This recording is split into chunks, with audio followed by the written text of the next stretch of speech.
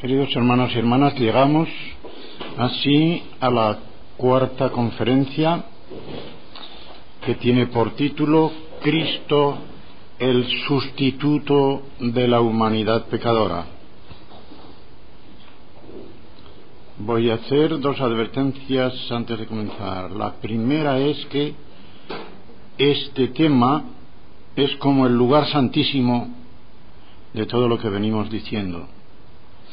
Y la segunda es que todas las citas, porque lo he querido especificar mejor, todas las citas están tomadas de la Biblia de las Américas. Tengo una introducción y seis puntos. Entramos en lo que suele llamarse el problema de Dios ante el pecado supuesta la voluntad salvífica de Dios, de la cual veremos después.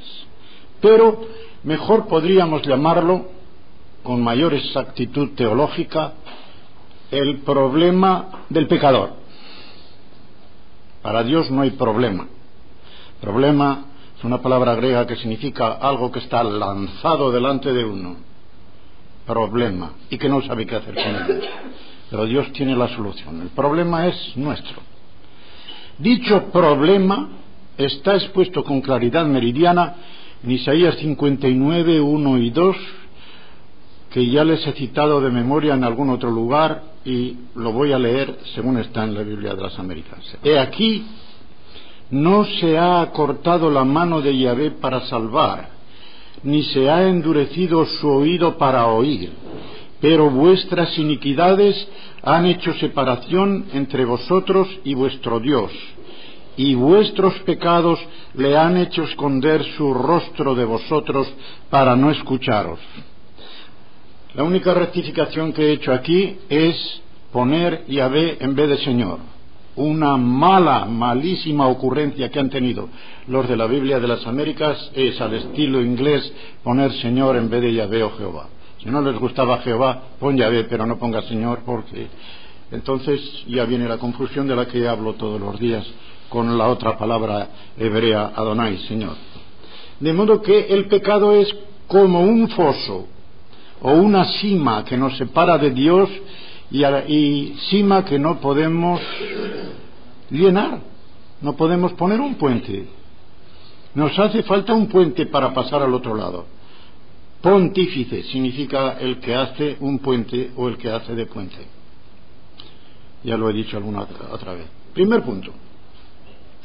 Comencemos por aclarar que el problema de Dios consiste en ver cómo se soluciona el problema que el pecado plantea a un Dios que siendo infinitamente amoroso es a la vez infinitamente santo y por lo tanto infinitamente justo. Dios es amor. Lo hemos repetido muchas veces. Primera de Juan 4 está repetido, 8 y 16. Pero también es luz. Lo dice también el propio Juan en esa primera epístola, capítulo primero y versículo 5. También es luz. La luz allí es clarísimamente símbolo de santidad. Y por eso el apóstol continúa diciendo que en él no hay ninguna tiniebla. Pero el que dice que anda en la luz y no ama a su hermano, este está en tinieblas. Está mintiendo, está en tinieblas. Luego es un problema de santidad. Dios ama al pecador y quiere salvarlo, pero odia al pecado y tiene que castigarlo. Y vamos a hacer desde el principio una aclaración para entender esto que a algunos, yo había puesto a muchos, pero quizá a algunos, les resulta tan confuso que se niegan a admitir dicha distinción. No sé si lo he leído o lo he oído o las dos cosas. Pero el predicador que dijo esto tenía una equivocación lamentable. Dice, eso de que Dios ama al pecador y odia su pecado es una tontería. Porque el pecado está metido dentro del pecador y si odia al pecado tiene que odiar también al pecador. Miren, aquí está donde ciertas nociones que aprendimos en teología desde que era muy niño, porque yo comencé la teología a los 17 años, vienen, pero muy bien, y es una teología basada en la Biblia. No porque la Biblia diga es que hay dos amores en Dios, uno que se llama de complacencia y otro de benevolencia, pero lo vemos, lo deducimos o para mejor, para hablar con mayor exactitud, lo inducimos. A base de hechos sacamos una norma, eso es inducir. A base de principios sacar unas conclusiones, eso es deducir. Quien piensa de esa manera, de que Dios ama, de que Dios odia al pecador porque odia al pecado, está confundiendo el amor de benevolencia con el amor de complacencia. Me explico. Con amor de complacencia, Dios no ama al pecador. No se complace en él ni puede complacerse en él mientras esté en pecado. Pero, con amor de benevolencia, lo ama puesto que le desea el bien de la salvación y quiere que salga del pecado. Si no fuera así, ¿cómo estábamos nosotros antes de ser salvos? Todos en pecado. ¿Nos odiaba Dios? Si Dios nos odiaba, porque dice en Juan 3:16 que de tal manera amó Dios al mundo. Amó al mundo quiere decir a la humanidad pecadora y caída. ¿Le amó con qué? ¿Con complacencia? No.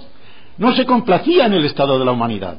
Con benevolencia, precisamente porque no se complacía en ese estado y quería sacarlo de ese estado, tenía el amor de benevolencia, que significa querer bien. Complacencia, complacerse en algo. De modo que con el amor de complacencia, Dios se complace en lo que existe con amor de benevolencia, quiere aquello que no existe todavía, pero Él quiere que exista. ¿eh? Así es como Dios ama a la humanidad pecadora. Juan 3:16. Así es como nos amó cuando éramos enemigos suyos. Romanos 5 del 6 al 11. Y como Pablo, cada uno de nosotros puede decir, me amó y se entregó a sí mismo por mí. Gálatas 2:20 la última parte del versículo. Este amor de Dios al hombre, a la humanidad en general, expresada por la palabra mundo en, Juan 3:16, es la base del deseo que Dios tiene de que todos los hombres sean salvos y vengan al conocimiento de la verdad. Primera de Timoteo 2.4. El verbo que hay allí y que en nuestras Biblias aparece como quiere que sean salvos, es muy distinto del querer firme y absoluto de Dios. El verbo celo significa desear. De modo que Dios tiene un deseo general de que toda la humanidad se salve y de que todos puedan llegar al conocimiento de la verdad salvadora. Pero no entra ahí un decreto absoluto. Escribiendo a un hermano que me había enviado una, fotocopia de dos artículos, uno en favor de la redención universal y otro en contra de la redención universal, yo le decía, miren, esos señores no tienen el discernimiento suficiente para distinguir entre los decretos absolutos de Dios y los decretos condicionados. Hay cosas que Dios quiere en absoluto, es decir, eso se cumplirá. Eso no lo deseo, eso lo quiero. Y eso se cumplirá. Pero hay muchos otros decretos de Dios que no son absolutos. Son condicionados, es decir, sí. Dios desea que todos se salven. Sí, creen. Si se arrepienten, si creen. Eso es lo que se llama un decreto condicionado. De modo que Dios tiene ya de principio un deseo general de que todos sean salvos. No dice que todos se salven, es decir, que todos sean salvados, están pasivas y lleguen al conocimiento de la verdad. No dice quiere, desea. Porque ha hecho provisión para que todos puedan llegar a eso Y el que no se aprovecha de esa provisión es culpa suya, no de Dios. Pero el pecado de la humanidad no puede quedar sin castigo porque la santidad de Dios tiene que ser respetada. Y no creamos que esto es una arbitrariedad de Dios. Es que si Dios salvase al pecador sin castigar el pecado y sin quitar de él drásticamente esa mancha de él, no le haría ningún favor.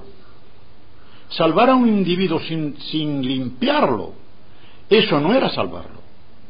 De modo que tiene que limpiarlo. Y tiene que limpiarlo como un joyero que pone en el crisol el oro con escoria para quitarle la escoria y así que sea oro puro. Eso es lo que quiere Dios con, con nosotros.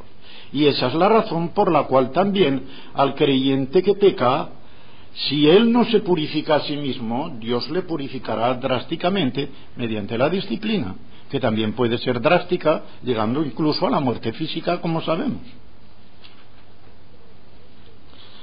El hombre rebelde tiene que ser confrontado por Dios en su rebeldía y sufrir el castigo que ese pecado merece.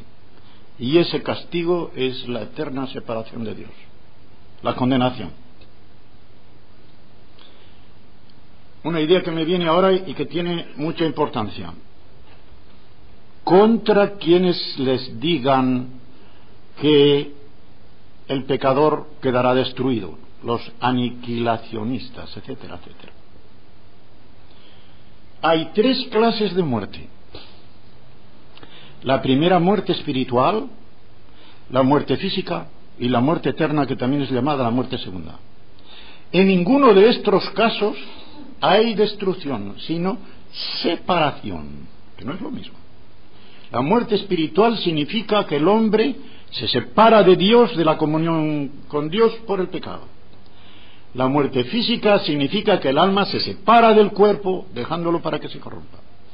Y la muerte última, la muerte segunda o muerte eterna consiste en que el pecador quede separado eternamente de Dios para tener que vivir, si se llama vivir eso, en condenación eterna, fuera de Dios y sin Dios. Pero en esto consiste el Evangelio. Eu angelion, Eu bien, Angelion noticia. El Evangelio es una buena noticia. ¿Para quién? Primero, para todos porque todos la necesitan. Pero especialmente es una buena noticia para aquellos que están en disposición de recibirla. Porque las buenas noticias no siempre son buenas para todos. Una buena noticia para una persona puede ser una mala noticia para otra. Le dicen, fulanito, ¿sabes aquel amigo tuyo que tenías o aquel amigote? Mira, le ha caído el gordo de la lotería y se ha hecho millonario. Dentro de los términos humanos, buena noticia para el millonario, probablemente mala noticia para el otro porque va a tener envidia. ¿Por qué no cogería ahí un décimo de aquel? De aquel? y el tío de él se, guardó todo el, todo el décimo y a mí no me dio una participación. ¿Veis? Una misma cosa que puede ser una buena noticia para otro es una mala noticia para la otra.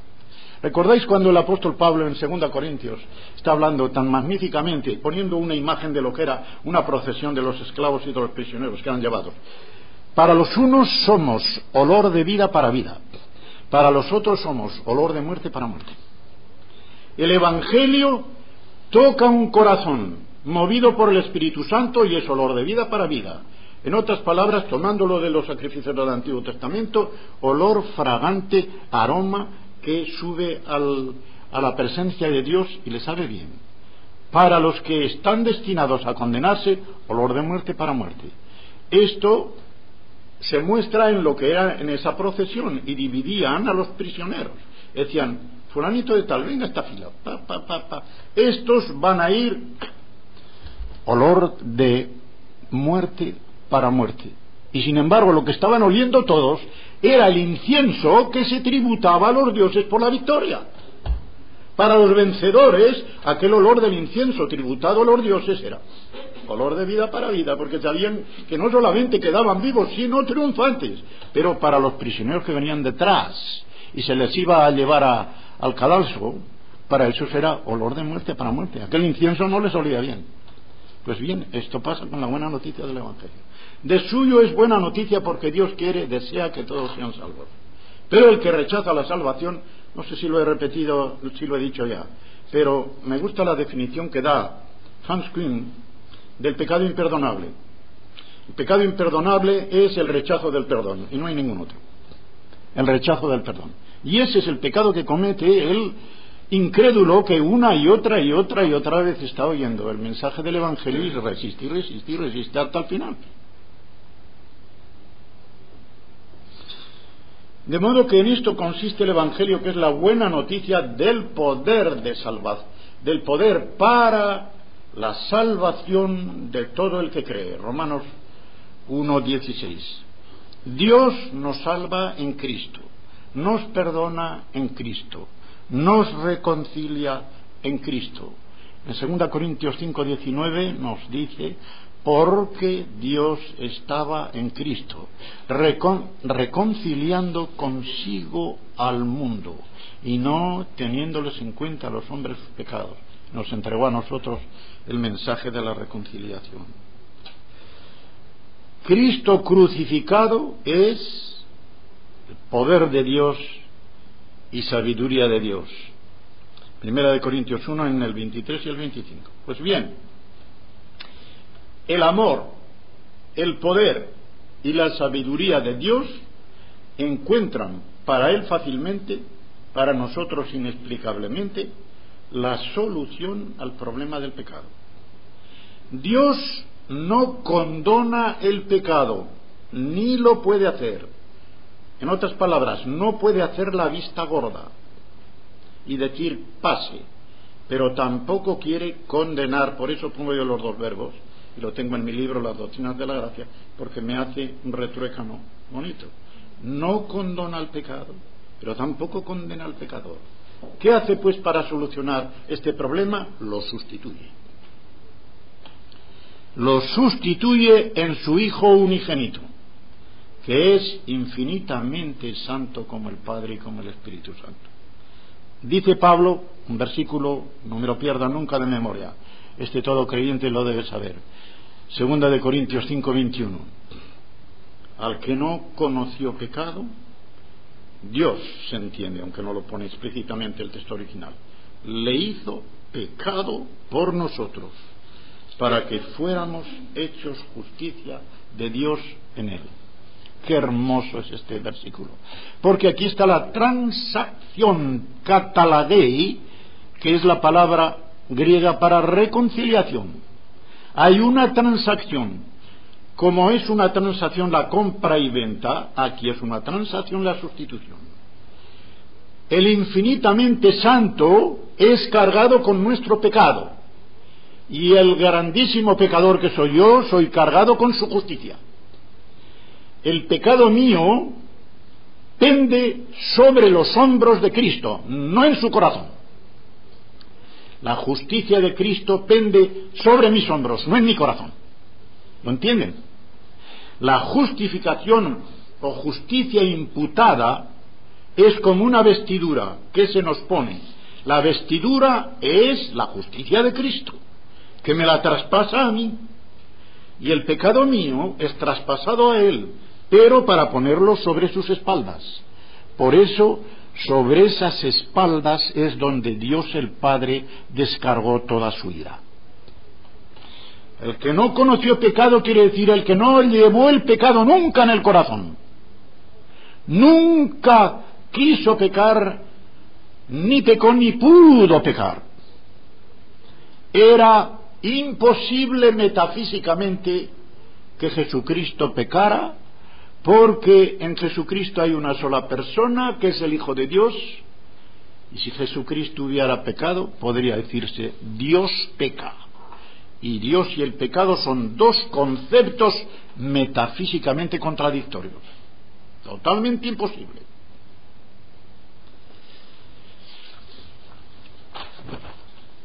Esta sustitución alcanza en el propio Dios unas profundidades que nos resulta imposible comprender en toda su magnitud, pero la palabra de Dios nos va a ayudar a vislumbrar. Punto segundo. Para entrar de algún modo en el conocimiento de este gran misterio, nos es necesario dar de mano a ciertas falsas enseñanzas que a lo largo de los siglos se han introducido tanto en la Iglesia de Roma desde el principio como en la Reforma.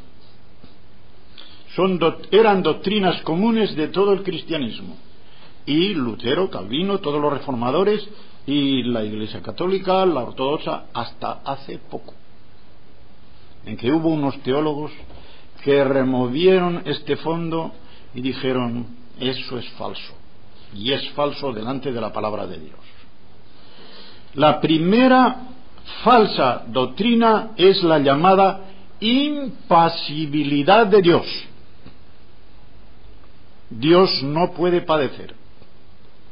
Con la filosofía escolástica de Aristóteles, el primer motor inmóvil, aparecía Dios, una figura hierática allá en el Olimpo, allá arriba, pim pam a este palo, a este recompensa, pero él sin, inmutable, ¿eh? Él inmutable. Dios no se movía para nada, ni sentía lo uno ni lo otro, no como juez supremo y en justicia a uno lo que se merece tal. Falsísimo. Esto es falsísimo. Es cierto que Dios, en su naturaleza divina, por ser espíritu, no puede padecer físicamente lo que corresponde a una naturaleza que tiene un, un organismo susceptible de padecer físicamente. Pero por eso precisamente es por lo que el Hijo de Dios se hizo hombre. Y así no solamente ser apto para padecer moral, psicológica y espiritualmente, como lo puede hacer Dios sin encarnarse, sino también físicamente. Físicamente. ¿Cómo nos demuestra la Biblia que Dios puede padecer en su corazón moral y espiritualmente, psicológicamente, como se quiera? Pues bien, la Biblia nos habla constantemente de los celos de Dios. Se ha dicho que los celos son el vinagre del amor, pero en Dios no cabe vinagre, es todo vino generoso, porque los celos que tiene Dios no es porque le quiten la mujer. Lo, lo dice creo ayer, los celos que tiene Dios es que Él sufre inmensamente, infinitamente, como todo lo que hay en Dios, de que siendo Él el único Salvador necesario y suficiente, haya hombres tan idiotas que se vayan hacia cisternas rotas que no retienen el agua, vayan a satisfacer su sed en otras cosas, mientras Él es el único que puede satisfacerlo. Eso a Dios le da una pena infinita. Y no digamos solamente del inconverso, pero cuando un creyente pone su afecto de tal manera en algo que no es Él, que si se lo quita al desapegarlo del corazón parece que siente un sufrimiento tan grande, mayor que cuando peca contra Dios. Está demostrando que no tiene de Dios el concepto, el concepto que debería tener. Un Dios celoso es un Dios que sufre en el rechazo de su amor. No es un mero antropomorfismo como nos decían ni como dicen Calvino, Lutero, etcétera. No es un antropomorfismo, es decir, una manera de hablar al estilo de los hombres. Como es cuando decimos que Dios alarga el brazo, que los dedos del omnipotente. Eso sí que es antropomorfismo. Porque el espíritu no tiene ni dedos, ni brazos, ni cosas de estas. Pero tiene una virtud operante que es semejante a esa, pero la sublima, mucho mayor.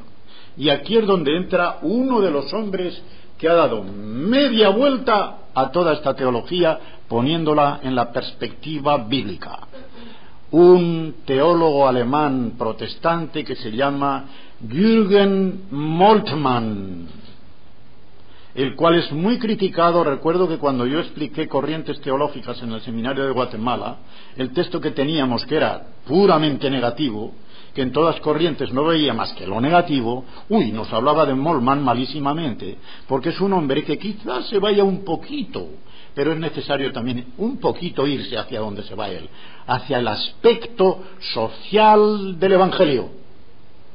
Y el texto este que era conservador en todos los aspectos, incluso en el político y social, este hombre, este hombre, si parece que está haciendo... No, no, no, este hombre Jürgen Mollmann, al que conozco muy bien en sus escritos, porque me regalaron dos obras de él y luego compré otra que estaba agotada en castellano, porque cuando yo lo divulgué en Vigo se agotó en las librerías, El Dios crucificado.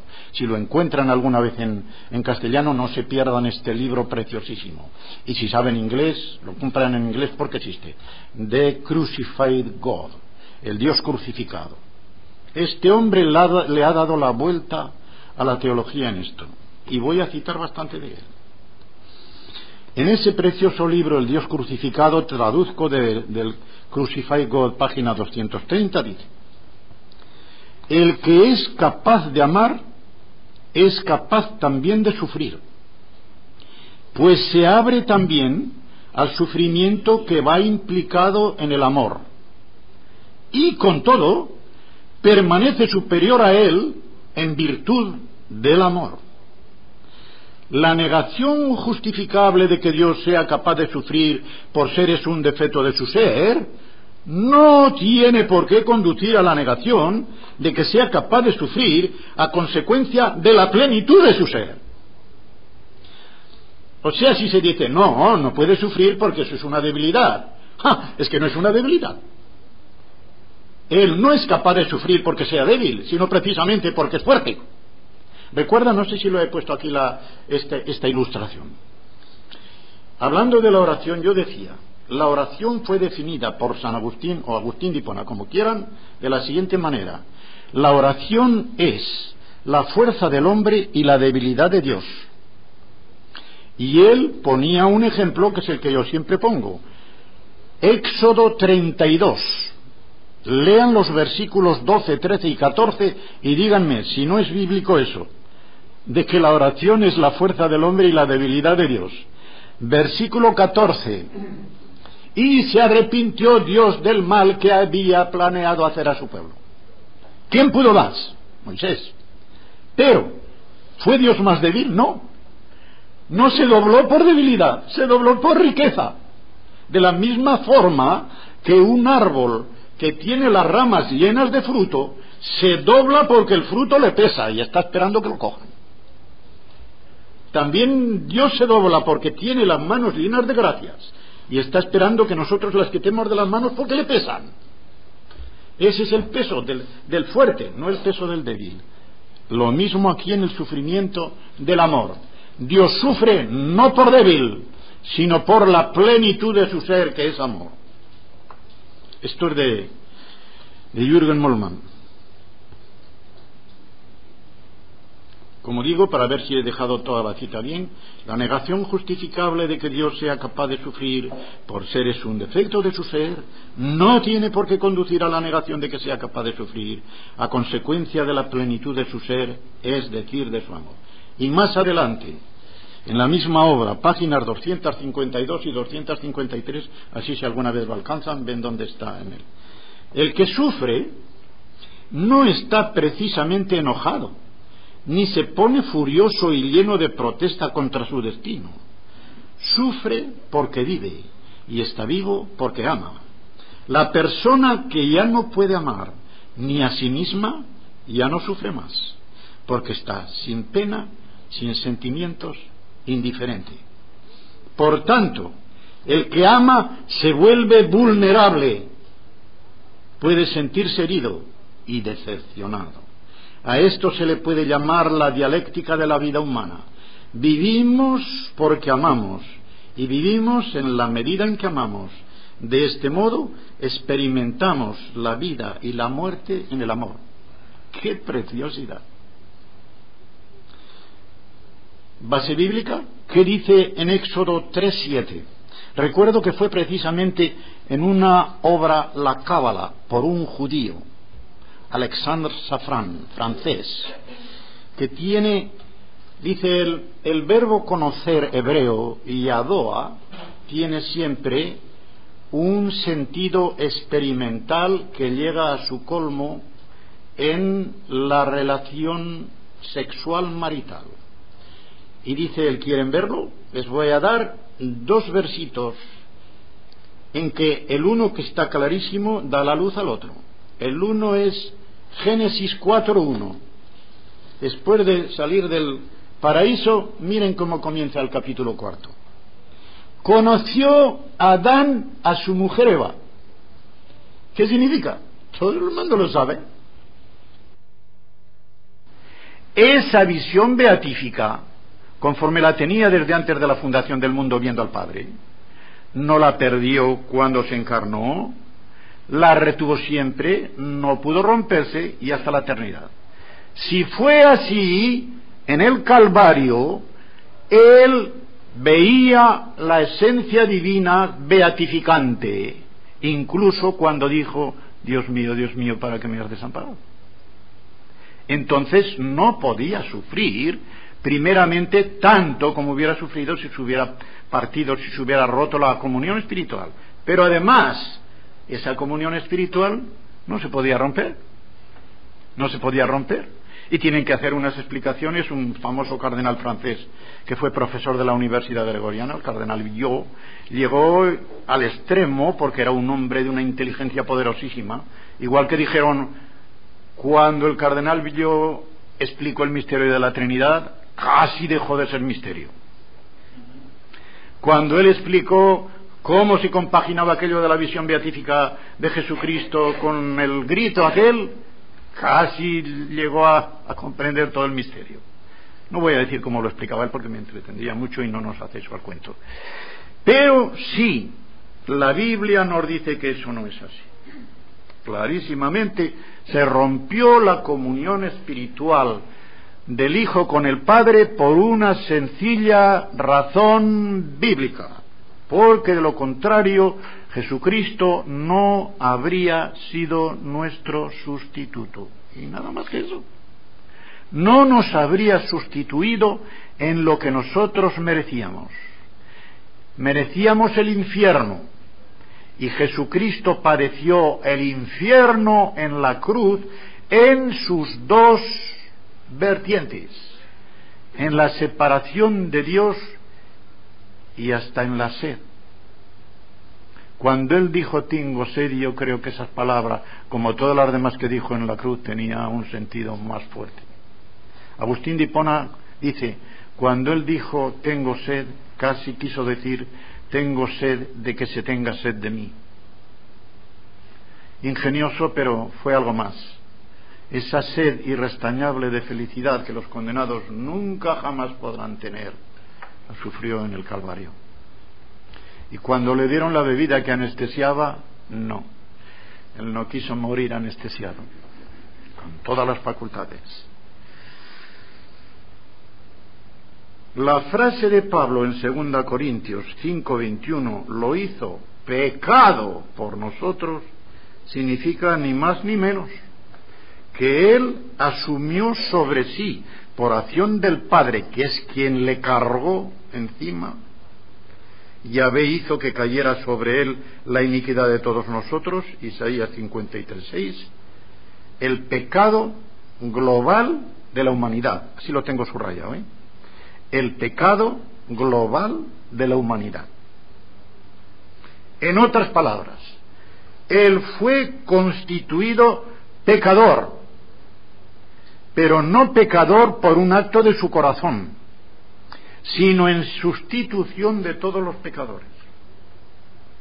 Pero una sustitución potencial, virtual, global, porque de lo contrario todos los pecadores serían salvos. Y siendo global, queda luego una vía de aplicación de esa provisión para los que creen. Y así es como nosotros entendemos que es compatible la redención universal con la salvación particular. Hay una salvación particular para todo el que cree, pero la redención, el rescate que Cristo pagó en la cruz con su sangre, fue, en principio, para todos. Para todos. Infinito, para todo el que quiera aprovecharse de él. Miren, ¿qué importancia tiene llegar al texto original? Cuando yo les puse en el examen de griego a mis discípulos una cosa que parecía facilita y ellos habían tenido el interlinear y todo, yo creo que se lo sabían de memoria y se figuraban que les iba a poner aquello. Un trozo de Isaías 53. Yo con toda la, no iba a decir con mala idea, pero sabiendo que iban a caer si se fiaban de la memoria, venga a ver, desde el versículo 4 hasta el 11 me vais a analizar, ¿eh? número, tiempo, persona y tal de cada verbo, de cada tal que salga ahí. Claro, picaron en el anzuelo y cuando llegaron aquello de que por su azotaina o por sus azotes nosotros fuimos curados, todos tradujeron en Nirpalanu fuimos curados. Pues no, amiguitos, no es fuimos curados. Nirpalanu al pie de la letra significa curación para nosotros. El verbo no existe, porque en hebreo, ordinariamente, el verbo ser o el verbo haber se oculta, no hace falta. Nirpa, lanu, ya está, está unido con una rayita para que se vea la unión, ¿verdad? Curación para nosotros. Como diciendo, provisión para todos. Provisión para todos.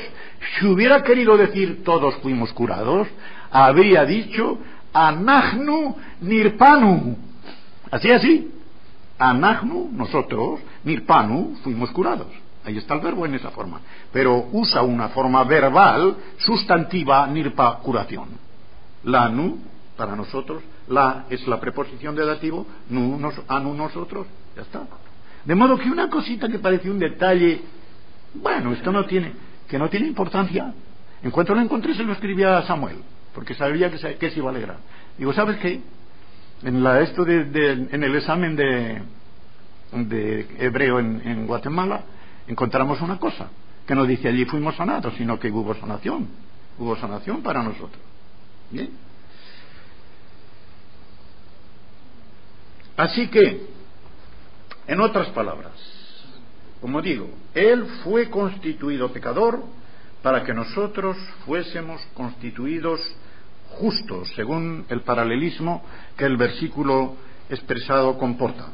No llevó el pecado en el corazón, sino en los hombros, del mismo modo que su justicia nos es imputada, no infundida en la justificación. Punto tercero. Esto nos lleva pues al Calvario, donde Cristo sufre por nosotros el desamparo del Padre y la sed, que son los dos elementos del infierno.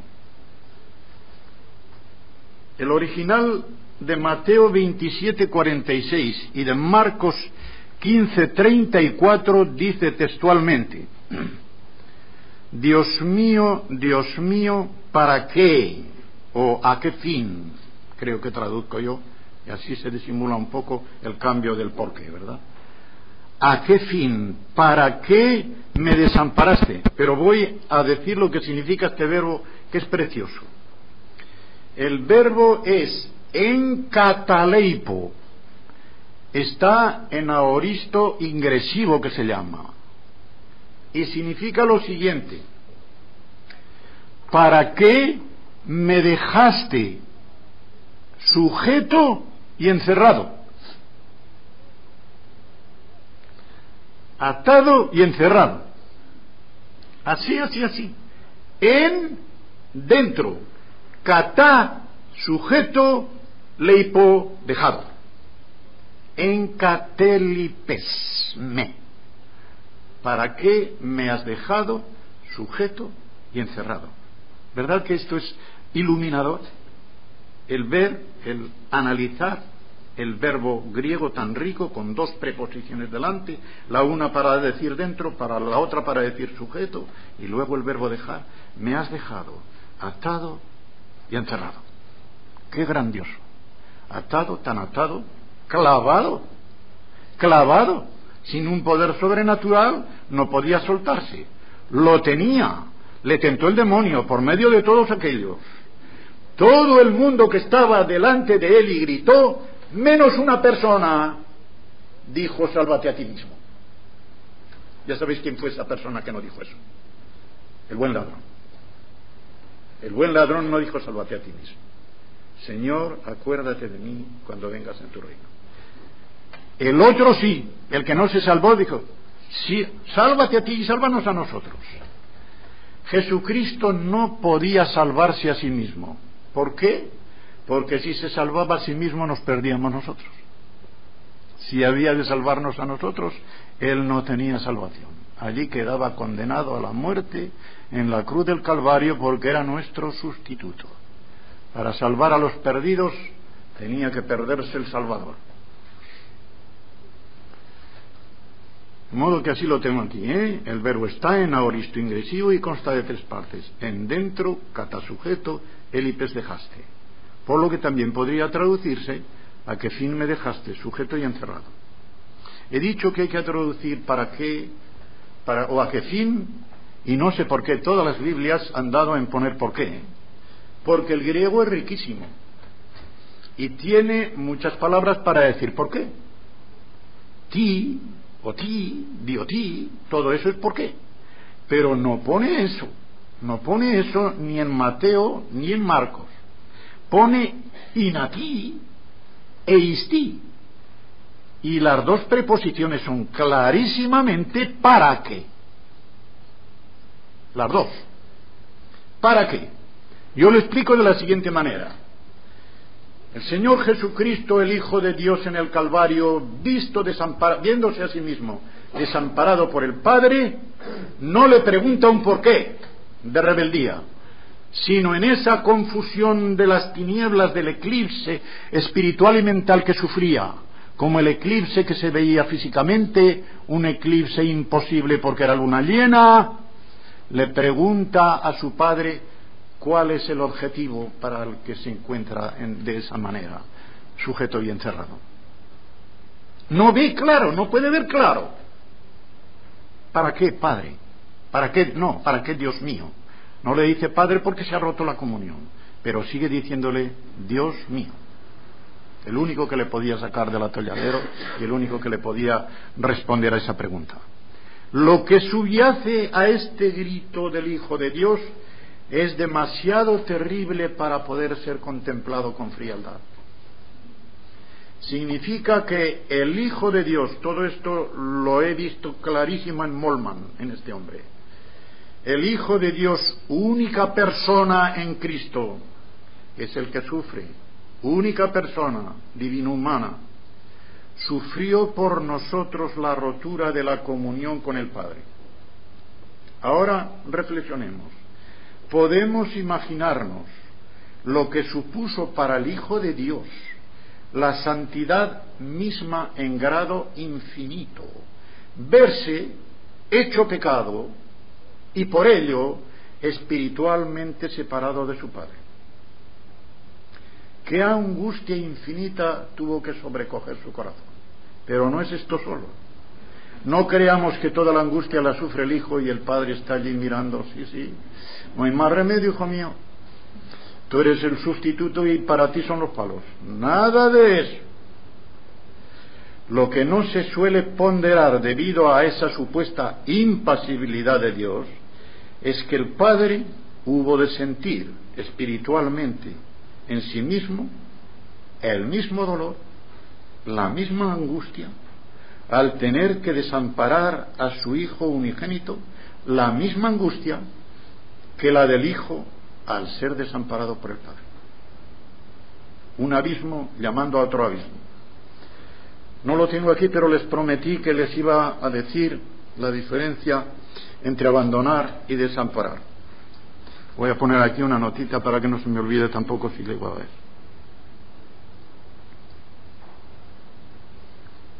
Miren, abandonar es un aspecto físico, desamparar es un aspecto moral. Se lo voy a poner con ejemplos. Un hijo que está sufriendo puede tener a su madre junto a él y estar desamparado. Si su madre no le protege, él está desamparado. No está abandonado, su madre está allí, pero no le protege. De modo que desamparar es una lejanía moral, abandonar es una lejanía física. A mí una persona se marcha de mí, se marcha muy lejos, pero sigue dándome ánimos, no me desampara. Me abandona físicamente, pero no me desampara. Pero si está junto a mí y no me protege, no me abandona, pero me desampara. Esto tiene la importancia siguiente. El Hijo de Dios, siendo Dios como el Padre, seguía estando dentro del Padre como el Padre dentro de él, porque eso sí que no se podía quitar. A pesar de todo el desamparo y de toda la rotura de la comunión, la pericóresis de las que le hablaba yo en el primer día, por la cual una persona está dentro de la otra, como tu Padre dentro de mí y yo dentro de ti, etcétera, etcétera, eso no se disolvía. Pero tanto peor, un Dios infinitamente cercano y dentro de él, Dios Padre infinitamente dentro de Dios Hijo y desamparándolo. Todavía el misterio sube de, de quilates. Pero esa es la realidad que nos pone la Biblia. Esa es la realidad. Punto cuarto. Al llegar aquí surge esta pregunta. ¿Pero fue necesario que el Hijo de Dios sufriese la muerte y precisamente la muerte en cruz? Es muy curioso observar que cuando murió Cristo hacía muy pocos años, muy pocos, tanto es así que cuando Cristo nació todavía estaba la ley, pero cuando Cristo murió ya había sido quitada. Cuando murió Cristo hacía muy pocos años que el poder romano había privado a los judíos de la facultad de dar y ejecutar la sentencia de muerte. Puede verse en Juan 18:31 cuando los judíos le dicen a Pilato, a nosotros no nos es lícito condenar a muerte a nadie. ¿Por qué? Porque los judíos ejecutaban por lapidación, apedreando. Los romanos ejecutaban por crucifixión. Si hubiera sido por lapidación, al Cordero de Dios se le habrían roto los huesos sin sacarle quizá ni una sola gota de sangre. No hacía falta. Con romperle los huesos se le mataba. Hubiera salido, sí, pero... Con lo cual se incumplían dos profecías. La del derramamiento de sangre como sacrificio, simbolizado en todos los sacrificios del Antiguo Testamento, especialmente el holocausto, y él sufrió el holocausto, que es el primero y el último, que es la expiación por el pecado, y se le habrían roto huesos al Cordero Pascual.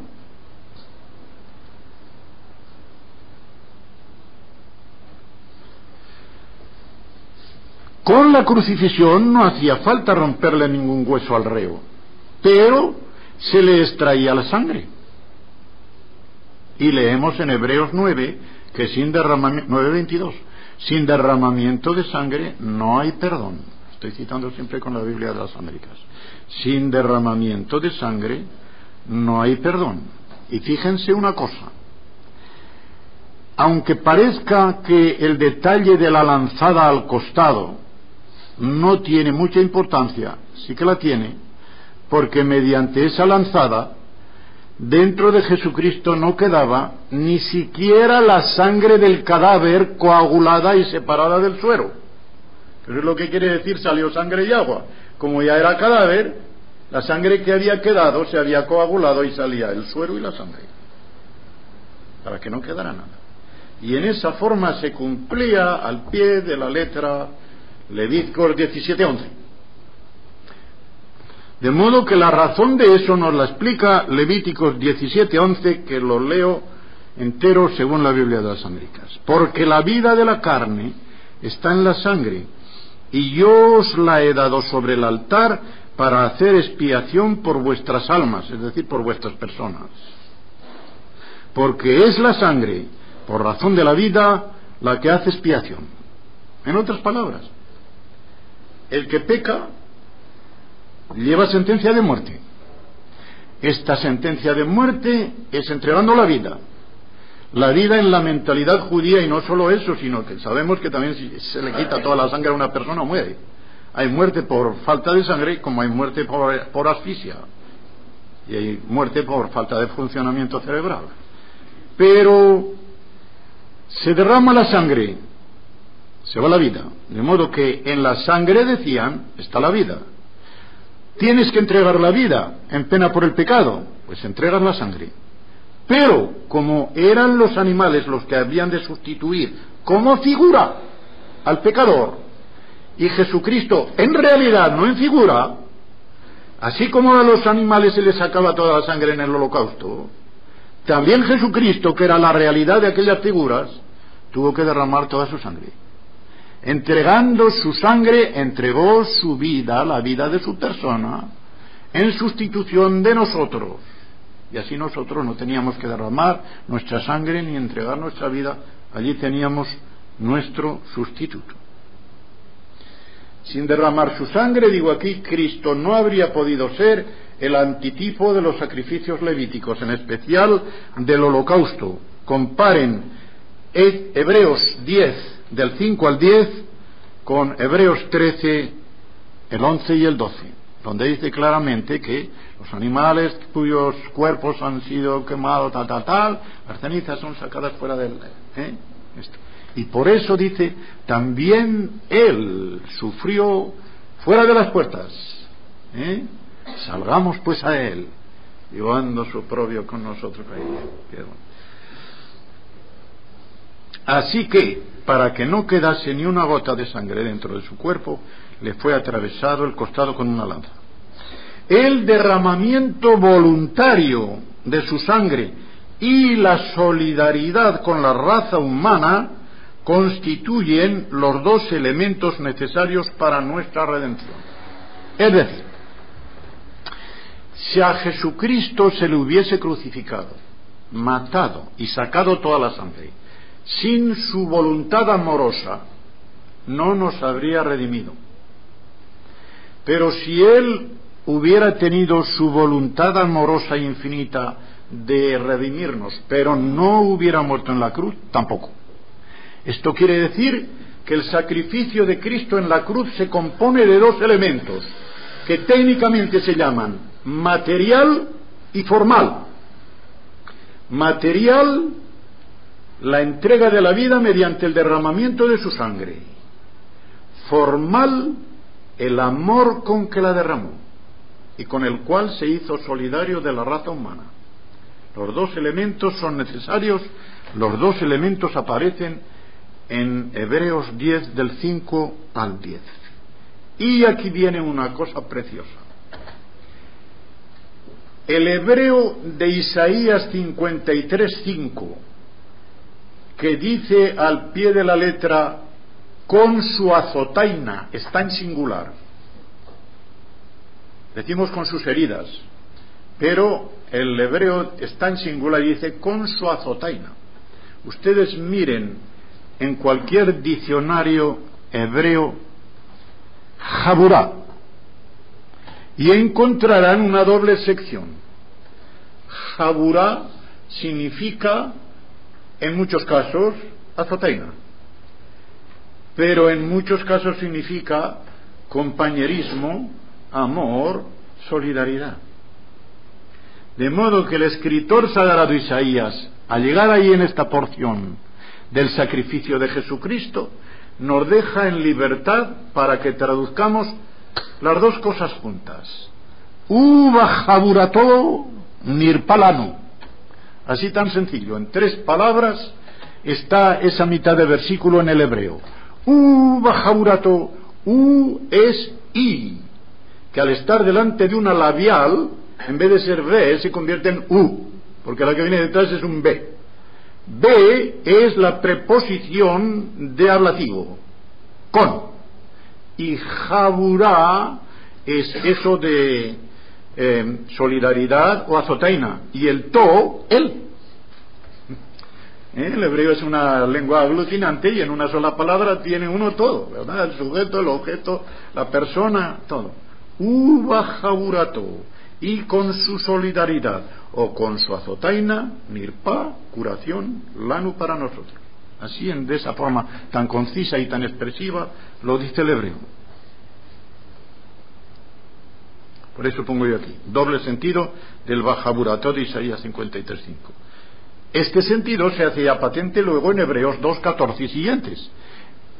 En los cuales versículos se enfatiza clarísimamente la solidaridad de Cristo con los hermanos. Tenían carne y sangre, también él participó de lo mismo, para destruir por medio de su sangre, por medio de su muerte al que tenía el imperio de la muerte. De modo que tienen las dos cosas, por medio del derramamiento de su sangre, que es el, por medio de su muerte, la solidaridad con los hermanos. Repito aquí, nótese que el original de Isaías 53.5 no dice fuimos sanados, sino hubo, lo pongo en paréntesis porque no está, sanación para nosotros. El sacrificio del Calvario no salva automáticamente a nadie, sino que allí se hizo provisión de salvación para todos los que se acerquen a la cruz por fe. Véase Juan 3, 14, 15. En otras palabras, para sacar agua de los manantiales de salvación, como dice hermosamente esa profecía de Isaías 12.3. les voy a explicar esto de la aplicación aquí, con esto como lo hacía yo en las clases de teología. Una caravana de peregrinos va por el desierto y va con ellos un ingeniero hidráulico, por ejemplo, y dice, vamos a ver si encontramos agua por alguna parte, ya sea por algún medio físico, si tiene, según sea el magnetismo que tenga, puede encontrarlo por un péndulo. Esto no tiene nada de ocultismo, ¿eh? Lo puede encontrar, o con una vara de avellano, en orca, ¿verdad? No tiene nada de ocultismo. Se levanta la vara de avellanos si hay una corriente metálica o, o acosa. Esto lo he hecho yo, de modo que lo he hecho yo con alguien que tenía magnetismo positivo, porque yo lo tengo negativo. Conmigo no salía, pero con el otro sí. Y cuando los dos agarramos el uno por una parte y el otro por la otra, la vara hizo una cosa muy rara hacia abajo, contra nuestra voluntad. Tiraba, tiraba hacia abajo y no la podíamos sujetar. Pues bien, esto es una, una incidencia. Este ingeniero encuentra un pozo, un pozo artesiano, de allí sale agua abundante para calmar la sed de todos los peregrinos que hay allí. Pero si los peregrinos no van a la fuente que ha salido, con su vaso o para beber como los de Gedeón o como quieran, no van a calmar la sed. De modo que las fuentes de la salvación están abiertas para nosotros. Mediante las heridas de Cristo en la cruz, esas fuentes de la salvación están abiertas para nosotros. Pero si una persona no va allí, no satisfará su sed, no quedará salva. Así que, en otras palabras, la muerte de Cristo en cruz efectuó una provisión general de salvación que llamamos redención universal. Pero de ella se aprovisionan únicamente los que creen, salvación particular. Ello se declaró, entre otros muchos lugares, en 2 Corintios 5, dos versículos, el 19 y el 20, donde hay dos reconciliaciones. No sé si lo expliqué aquí o en alguna otra parte, creo que ha sido en Sevilla. Antes de la redención del Calvario, y quiero decirlo tendencialmente ya desde el principio de la humanidad, ya todo apuntaba hacia, hacia aquella cruz del Calvario, para que se vea que no es cosa temporal, sino de la eternidad. Dios estaba de espaldas a la humanidad por el pecado de la humanidad. La humanidad estaba de espaldas a Dios porque no lo quería. En el Calvario viene a decir Pablo en 2 Corintios 5:19, Dios se da media vuelta y se pone de cara a la humanidad. Pero hace falta que esa humanidad uno por uno se dé también media vuelta y se ponga de cara a Dios. Por eso después de decir Pablo en el versículo 19 que Dios estaba en Cristo reconciliando consigo al mundo potencialmente y no teniéndoles de su parte ya en cuenta los hombres sus iniquidades, Pablo en el versículo 20 dice, por lo tanto, como embajadores de Cristo de parte de Dios, rogamos, cuidado, ese os se quita de la Biblia, ¿eh? Rogamos, reconciliaos con Dios. Dios ya estaba reconciliado, reconciliate tú. ¿eh? Dos reconciliaciones. La de Dios en Cristo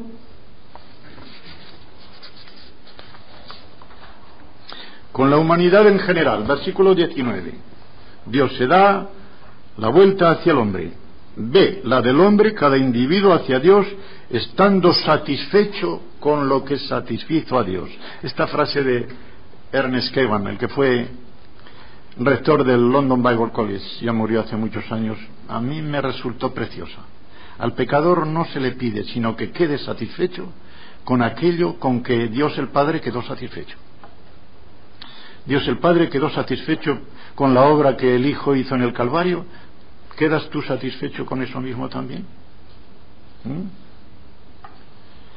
Esta fe por la que somos justificados, mediante, por gracia, es un testimonio, y mejor aún, con el pensamiento especialmente de Primera de Juan, es la firma personal que ponemos al pie del documento de reconciliación. Para entenderlo de esta manera figurada, Dios en el Calvario extiende un documento de reconciliación al mismo tiempo que Jesucristo clava y mata allí el documento. Pero al mismo tiempo que Jesucristo clava ese documento, Dios extiende el nuevo documento.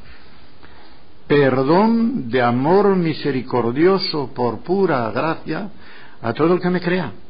Es decir, a todo el que tenga por legítimo y válido este documento.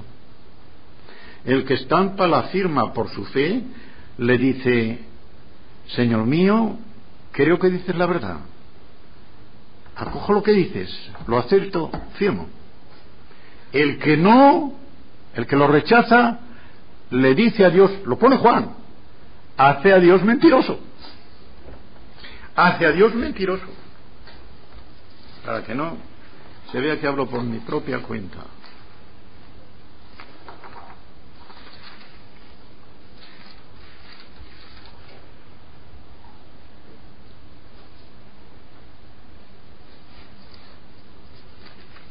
Primera de Juan 5.10. El que cree en el Hijo de Dios tiene el testimonio en sí mismo. El que no cree a Dios le ha hecho mentiroso. Dice, mientes, en ese documento mientes. ¿Por qué? Porque no ha creído en el testimonio que Dios ha dado acerca de su Hijo. Dios da ese documento acerca de su Hijo. Lo rechazas, haces mentiroso a Dios. Y en realidad es, eso lo que hace el pecador que, que se resiste a convertirse. O cree que eso es demasiado bello para ser verdadero, o cree que él no tiene por qué someter su voluntad a otro, ni aunque sea a Dios. Es terrible que haya personas que piensen, es que soy demasiado malo, a mí no me perdona Dios. les he oído a muchos les he oído a muchos. Contra esta frase le oí a nuestro pastor en Tunbridge Wells de hace muchísimos años otra frase maravillosa. Para Dios no hay ninguno demasiado malo. Sí que puede haber alguno demasiado bueno. ¿Eh? De modo que el que se tiene por demasiado bueno, ese es el que no tiene que hacer nada con Dios. Porque el Señor Jesucristo no vino a salvar a los demasiado buenos, sino a los demasiado malos. Vino a salvar a pecadores, no, vino a salvar a justos. No hubiera encontrado a ninguno, no encontró a ninguno. De modo que a quien tuvo que salvar tuvo que ser a un pecador, a uno malo, demasiado malo para Dios. Punto quinto. Bueno, no había terminado este, esta cosita. Esta fe por la que somos justificados, sí lo he dicho, es un testimonio, una firma personal de que Dios es veraz en sus palabras y en sus promesas. Véase primera de Juan 5, del 10 al 12, que si hubiera visto esto, no tendría que haber llevado tanto jaleo para encontrar la cita. Punto quinto. No queda más que esto, no se asusten. Quinto y sexto. La cruz de Cristo es, por tanto, el núcleo del mensaje cristiano del Evangelio. Dice Molman, otra vez, en la obra citada, página 2, es en la introducción del libro de Crucify God. Hay un criterio interior de toda teología y de toda iglesia que demande para sí el título de cristiana. Y este criterio va mucho más allá de toda crítica que pueda venirle de fuera, ya sea política, ideológica o psicológica. Este criterio es el propio Cristo crucificado. Las iglesias, los creyentes y los teólogos han de ser tomados por su palabra, y esta palabra es la palabra de la cruz. Y sigue diciendo, ha dicho un autor, por toda la eternidad hay una cruz de madera dentro del corazón de Dios. Es decir, desde la fundación del mundo, desde, todo, desde toda la eternidad. Y este es el sentido, esto ya lo pongo yo, este es el sentido de Primera de Pedro 1.20, cuando dice, siempre según la Biblia de las Américas, porque él estaba preparado, literalmente conocido de antemano, desde antes de la fundación del mundo, no inmolado, cuidado, preparado. Es decir, desde la eternidad. En cambio, Apocalipsis 13.8 no debe leerse como aparece en muchas versiones, sino como aparece en el texto de la Reina Valera 1977, que es esta, y en la Biblia de las Américas en el texto, pero no en el margen. Es un caso de paréntesis. Y por eso las Biblias que lo traducen inmolado desde la fundación del mundo no se dan cuenta de que es un paréntesis. Punto es esto. Desarrollar con mayor amplitud este tema se nos llevaría muchísimo tiempo y por eso no he hecho demasiadas divagaciones, aunque he hecho algunas. Pero hay tres detalles que no pueden ser omitidos porque mucha gente los confunden. Y cuando digo mucha gente hay himnos erróneos en este punto uno del famosísimo Toplady, el, el, Roca de la Eternidad. No en ese precisamente, en el de Roca de la Eternidad, pero hay una frasecita, y lo dije yo desde un púlpito de Inglaterra, un poquito enfadado estaba, porque lo habíamos cantado, ¿verdad? Nos redimió, siempre que oigan, nos salvó con su vida, o nos redimió con su vida, tal, falso. Falso. Cristo es nuestro representante, y es nuestro sustituto, pero de diferente manera. Nuestro representante o modelo que va adelante lo es en el holocausto. Y esto lo fue él en toda su vida. Porque entrando en el mundo dijo tal, tal, tal, tal. Y ahí comenzó el holocausto. En otras palabras, el Señor Jesucristo comenzó a ofrecerse, a gastar y a desgastarse a sí mismo desde que fue concebido hasta que terminó la obra del Calvario. Ese fue su holocausto. Hebreos 10, 5, 10, 13, 13, compárenle con Primera de Pedro 2, 21. En ese sentido es nuestro representante. Pero nuestro sustituto lo es solamente en la expiación del pecado, último de los cinco sacrificios, la cual fue llevada a cabo únicamente en el Calvario, no durante el resto de su vida, únicamente en el Calvario, como preparación próxima, la agonía del huerto donde se hizo la decisión. Jesucristo no hizo la decisión en el Calvario, estaba hecha. La hizo en lo que suele llamarse la agonía una palabra griega que significa lucha, un conflicto tremendo. La agonía del cristianismo de uno a uno no significa que el cristianismo esté agonizando, sino que es un conflicto, que es una lucha, ¿verdad? La agonía estuvo ahí. ¿Eh? Entre el tentador, eh, sufrir la muerte, hombre, igual que en, el, que en el desierto, y el plan de Dios que había de ser por medio de muerte. Hasta tener que decir que en Marcos, le voy a decir una cosa muy notable, Creo que sabrán que Marcos fue el primer evangelio que se escribió. Eso se ha demostrado científicamente hace pocos años. Un jesuita de la Gregoriana, al que tuve la satisfacción de oír en San Jugá del Vallés, lo demostró científicamente. El evangelio de Marcos fue el primero que había sido escrito. Antes del año 50 antes de Jesucristo. Cuando vivían la mayoría de las personas que habían presenciado la crucifixión, ¿eh? Y cuando vayan a ver la exactitud de los detalles, Marcos, siendo el Evangelio más corto, es el más detallado y exacto. En Marcos, Jesucristo no dice, no se haga mi voluntad sino la tuya. no se haga lo que yo quiero, sino lo que tú, más fuerte.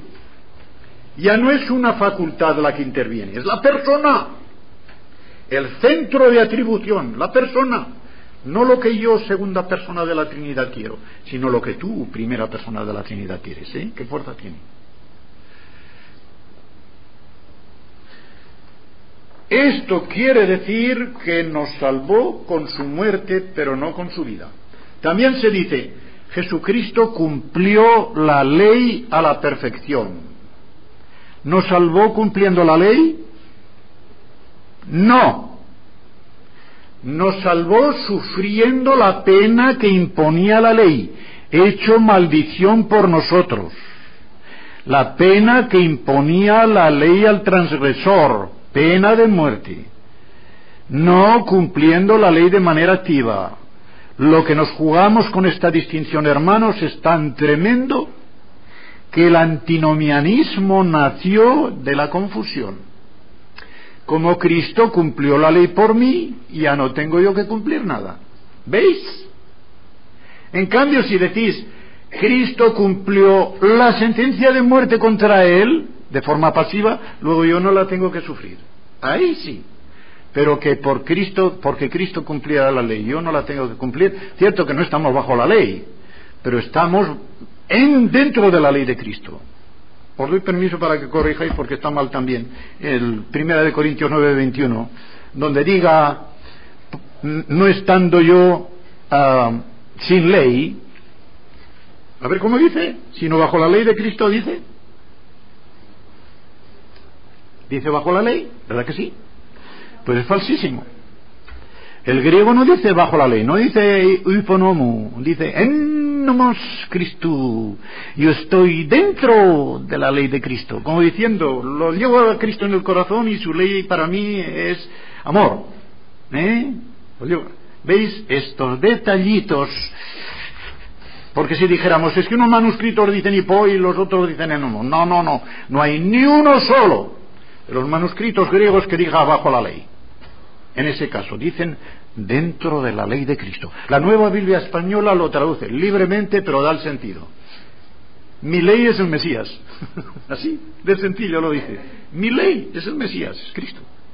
Pero la traducción literal, como les digo, es esta. Estando yo dentro, en, en nomos dentro de la ley de Cristo. En otras palabras, Pablo se sentía llevando la ley de Cristo en el corazón, no oprimido por ella en los hombros, ¿eh? como oprimía la ley del Antiguo Testamento. B. segundo detalle. Cristo sustituye y por lo tanto salva al hombre entero y potencialmente a toda la humanidad, no a una sexta parte de la humanidad. El hombre tiene espíritu, alma y cuerpo. Y si creemos en la redención universal, esto lo tiene toda la humanidad. Salvada potencialmente, muy bien. Pero si decimos, no, no, lo que Dios salva es el alma, o lo que Dios salva es el espíritu, lo digamos como lo, como lo, como lo digamos, y salva el alma de un grupito. Como el alma es una tercera parte del ingrediente, y el grupito es la mitad de los demás, supongamos la mitad, 3 por 2, 6, estamos salvando a la sexta parte de la humanidad. Y Jesucristo vino a salvar a toda la humanidad. ¿Saben lo que quiere decir con esto? Que es cierto que de la misma manera que la muerte entra en el espíritu y baja al alma y al cuerpo, la salvación y la vida entra al espíritu y ha de bajar al alma y al cuerpo. Y de la misma manera que Dios, por medio de su Hijo, salva o, lleva la salvación, provee de salvación al espíritu, alma y cuerpo de toda la humanidad, la predicación del Evangelio tiene que incluir los aspectos sociales del Evangelio que se derivan de la salvación total que Cristo vino a traer. De modo que eso de decir, aquí a la gente le tenemos que predicar que crea y que se arrepienta, pero esté como esté socialmente, allá ellos. Eso no es del Evangelio. Hermanos, nos estamos equivocando. Es cierto que el Evangelio entra por el corazón, pero sale por el bolsillo. ¿Eh? No se puede. Miren, les voy a contar para que vean esto. Lo que nos pasó a nosotros en una iglesia de Barcelona, donde había esa mentalidad heredada del pastor. El pastor era de los que creían así. De social, nada, nada, no. No solamente de social, de las puertas de la iglesia para afuera, nada. Así. Y había una señora ya mayor que había adquirido y bebido esta mentalidad del pastor de una manera absoluta. Y como es natural, para el pastor la señora Guadalupe era el no más cabe. No va más.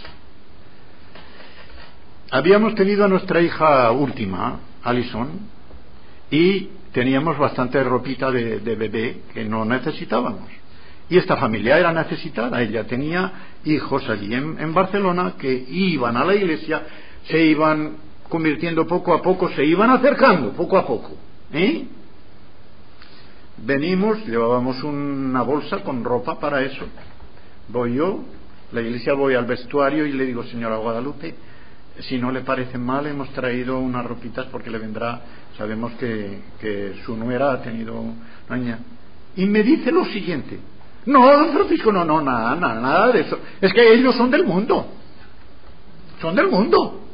De modo que su marido era del mundo. Se puso enfermo, no fue a verlo al hospital porque no había llegado a dar profesión de fe. Se había diciendo, no, no, no, es del mundo. Claro, cuando le digo yo, me ha dicho su señora, me dice él, mi señora será en el papel. Tenía razón. De modo que su hijo, su nuera, como eran del mundo, para ella no eran nada. ¿Qué dice la Biblia misma? No dice que hemos de tener los sentimientos para todos y que Dios vino para salvar a todos, especialmente a los creyentes. Quiere decir que hay dos círculos el círculo de creyentes en que hemos de tener un amor especial a los hermanos, sí, sí, sí, sí, pero ese amor no tiene una barrera en la puerta de la iglesia, tiene que extenderse a, a los demás. Y si no, ¿dónde va la misión de la iglesia? Si Dios amó a todo el mundo y puso la misión de la iglesia para que fuese a ser predicado el Evangelio a toda criatura, a todas las gentes, es por amor, ese mismo amor lo tenemos que tener nosotros. Y ese mismo amor a toda la gente. Nada de que son del mundo. Están en el mundo y vamos a ellos al mundo. Sin ser del mundo, vamos a ellos al mundo. Para sacarlos de lo mundano y que entren dentro, dentro de donde nosotros estamos. Tercero, Primera de Corintios 15, 28. No significa, y ya lo dijimos antes, que se acabe con ello la unión hipostática, la unión entre la naturaleza humana con la persona divina, ni que Cristo pierda sus cicatrices. Por dos razones. Primera, porque Juan habla del Cordero, esto ya lo he dicho, con relación a la eternidad como puede verse en Apocalipsis 22.1. Y además, si dejase la humanidad, se acabó la visión de Dios. Porque a Dios, el Padre, no se le puede ver sino en Cristo. Cristo deja su humanidad y queda tan espíritu como el Padre, invisible para siempre. Entonces, ¿dónde está el cielo? En ninguna parte. Así de sencillo. Vean Juan 14.9, primera de Timoteo 6.16, Apocalipsis 21.23, 22.5. También me expliqué el versículo 4 a una pregunta. Verán su rostro se explica como en los demás lugares en que se habla de la visión de Dios, y significa tener a Dios favorable, ¿eh? no enemistado, sino favorable, de una manera amiga. Hasta ahí llegamos. Que el Señor nos bendiga.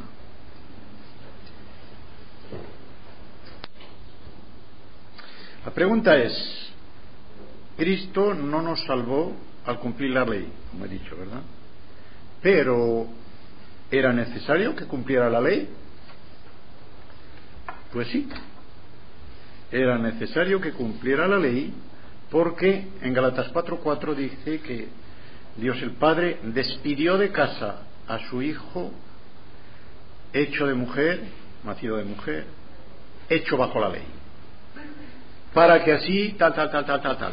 O sea, que el cumplimiento de la ley por parte de Cristo era el cumplimiento de la obediencia al mandamiento de Dios, que aunque eso no nos salvaba, era un prerequisito para que Él fuera un sumo sacerdote, nuestro gran sumo sacerdote, santo, sin mancha, sin pecado, apartado moralmente de los pecadores, hecho más sublime que los cielos.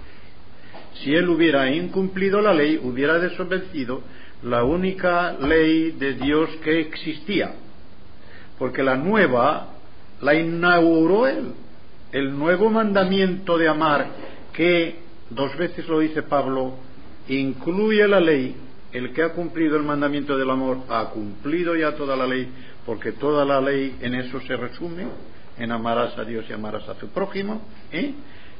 necesitaba él cumplir la ley que había. Y como la cumplía con amor, cumplía el mandamiento del amor, porque si no, no lo hubiera podido imponer si no lo cumplía. De modo que era necesario. De lo contrario, no hubiera sido nuestro gran sumo sacerdote santo, tal, tal, tal, hubiera desobedecido la ley que había. ¿Bien? Vamos a ver esta otra que me han puesto rápidamente. Existe para nosotros ¿Hay la prohibición de comer sangre según el pacto que hizo Dios con Noé? Esto es también una preguntita ¿eh? que es donde los, los testigos de Jehová arrean, arrean.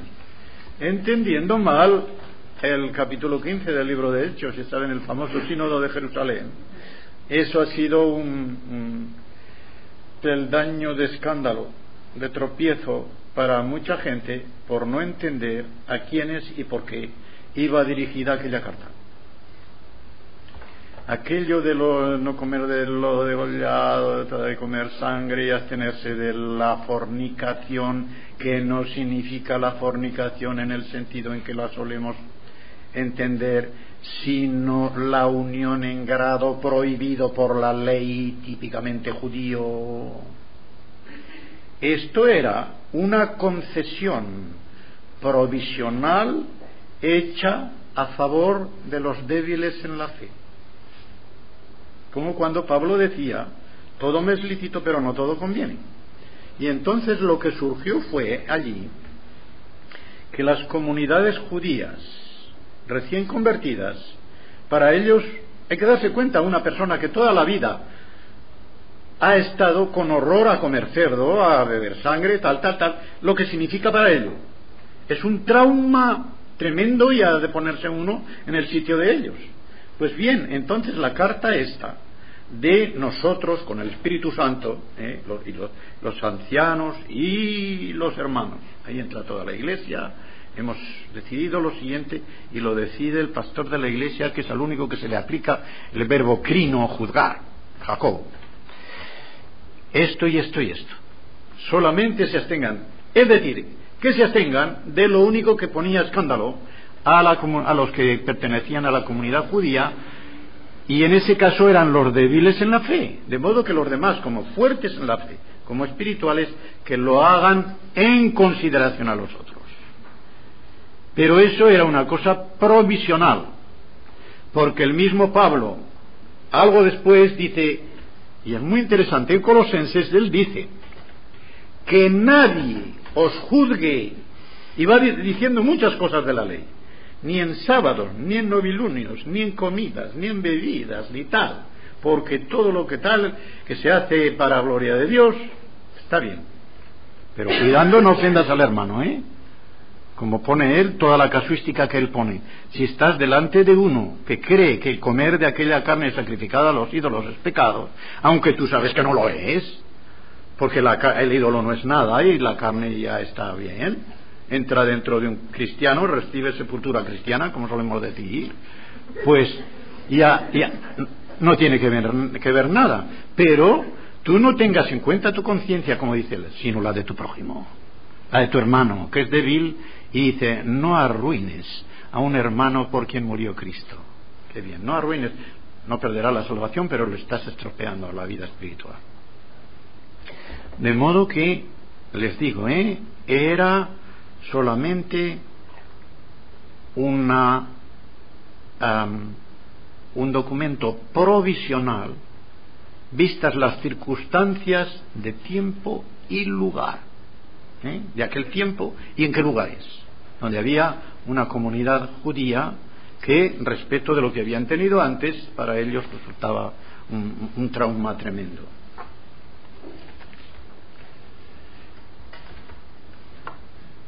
Las demás, como digo, no son de esto, pero como todavía no es más que la una menos cuarto, tenemos tiempo, ¿verdad? Y así los hermanos no se quedan con esta duda. No digo yo que se las vaya a sacar, pero por lo menos les diré todo lo que pueda. ¿Qué significa lo de 1 Corintios 15, 28, al final de este versículo que dice, a fin de que Dios sea todo en todos? Miren, este final de este versículo lo emplean también los que niegan que Jesucristo siga con su humanidad por toda la eternidad. Porque si Dios, y se entiende Dios el Padre, eso es lo que entiende Pablo y hemos de entender nosotros, si Dios lo va a ser todo en todos, el Hijo sobra. El Hijo como hombre, como Dios allí estará con el Padre, ¿verdad? Miren, lo que Pablo quiere decir allí, que Dios sea todo en todos, es que la función mediatorial de Cristo en cuanto a ser el puente que de los hombres, que de Dios a los hombres y de los hombres a Dios establece una circulación necesaria para la salvación. Como la salvación ya ha recibido su punto final, esa función mediatorial cesa. Ni Jesucristo tiene que interceder por los hombres porque ya no tienen nada por qué intercederse ni los hombres tienen que esperar ninguna otra cosa, porque su salvación se ha cumplido en todas sus etapas. Entonces, sin que Cristo tenga que despojarse de su naturaleza humana, Dios fluye directamente, sin función mediatorial necesaria, con toda su bendición eterna, a través del mismo Hijo y el Espíritu Santo, a todos los que están allí con Él. Eso es lo que significa nada más pero no que tenga que despojarse de su humanidad. Voy a dejar la, más difícil para el último, ¿verdad? Aún no sé que sea mejor. Mejor cuando el cerebro está un poco más despejado. No sea que lo tenga demasiado cansado y no. ¿Cuándo y cómo bajó Cristo a predicar a los espíritus encarcelados? Primera de Pedro 3:19. Esta pregunta se las trae. Les voy a decir que este versículo es uno de los más difíciles de la Biblia para los comentaristas. Vamos a leerlo. Y les diré las interpretaciones que se han dado de él. Las de la antigüedad, bastante malas, por mala comprensión de lo que significa el encarcelamiento y todo eso. Las de la modernidad, regulares y las contemporáneas de los mejores comentaristas a las cuales me adhiero.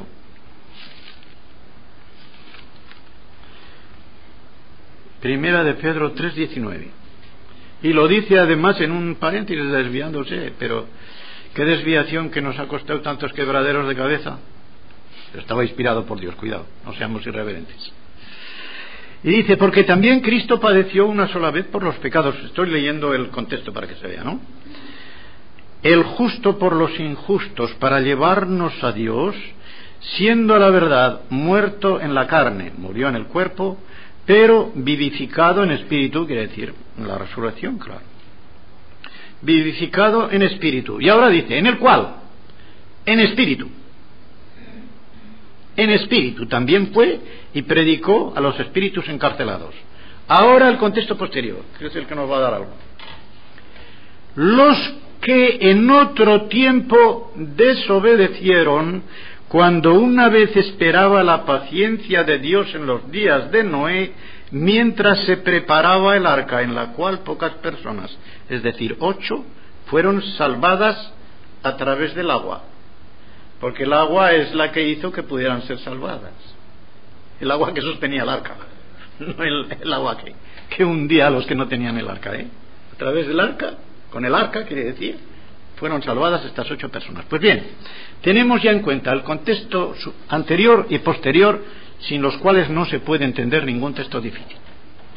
¿Qué quiere decir en espíritu? Decían, pues sí, el espíritu, el alma espiritual de Jesucristo, humana, mientras el cuerpo quedó en la tumba, su espíritu bajó a este lugar, no infernal diríamos, sino a una cárcel. Cuidado, ¿eh?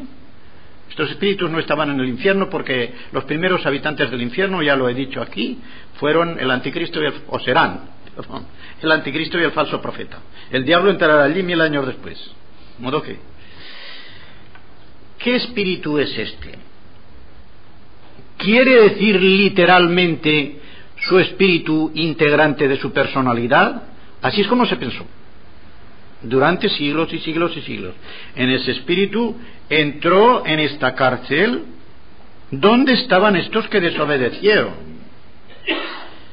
¿Quiénes desobedecieron? Fueron los ángeles hechos hombres, de los que hay cierta probabilidad en Judas, esos ángeles que no guardaron el honor de su habitación superior y se fueron tras deseos de otra carne.